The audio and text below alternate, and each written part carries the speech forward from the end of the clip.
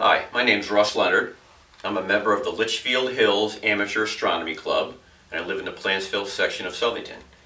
In front of me is an Orion Starblast 4.5 inch reflecting telescope that the Southington Public Library will loan out as a part of an astronomy package in a very similar way that you check a book out. I want to go over a few of the operating procedures for this and some things that you can look at and describe some of its different characteristics. First of all, as far as safety is concerned, you never look at the sun with this telescope. This telescope is not a solar scope.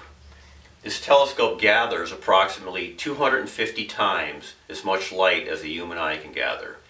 You know that if you went outside on a sunny day and tried to look at the sun without sun, some type of dark sunglasses or solar shield, be very painful. So at 250 times the light gathering power, this telescope would cause instant permanent eye damage, probably blindness. So it's extremely important. It's a very simple operation as far as this telescope is concerned. It's a, a Newtonian reflecting telescope. It's named after Sir Isaac Newton, who made the first practical reflecting telescope in 1672. As you can see, it swivels back and forth and up and down very easily.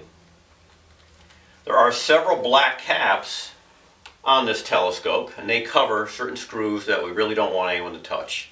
The telescope has been aligned, set up for tension and adjustment and there's really no need to touch anything except for two different things. One is the altitude up and down tightening clutch which is here.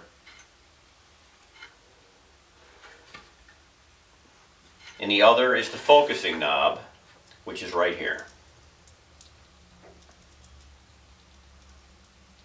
And this telescope has a four and a half inch parabolic primary mirror in the back and a secondary mirror in front. The eyepiece is located right here. There's no reason to remove the eyepiece. This eyepiece gives a magnification of 50 times with this telescope and gives a field of view a little over two times the size of a full moon. It's mounted on what's called an alt-azimuth telescope mount. Very simple. Alt is the altitude. 90 degrees is straight up. And azimuth is for rotational. With azimuth, 0 degrees is north, 180 degrees is south.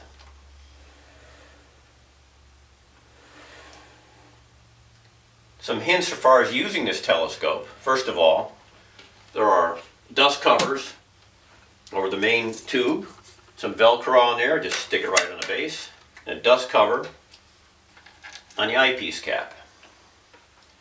First thing that most people should probably look at is the moon.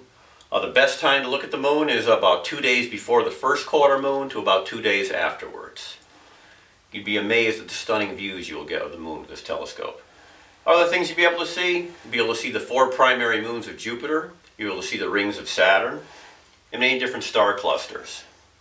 Now, because of its field of view, you will not be able to see an entire constellation.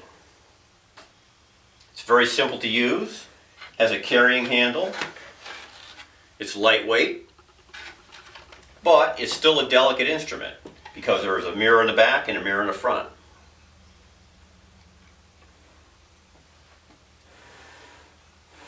Now, as part of this astronomy package, when you check this telescope out the library, You'll also get a book called Night Watch,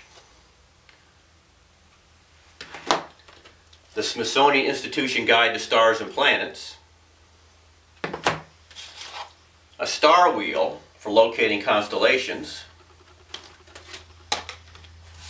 and a CD called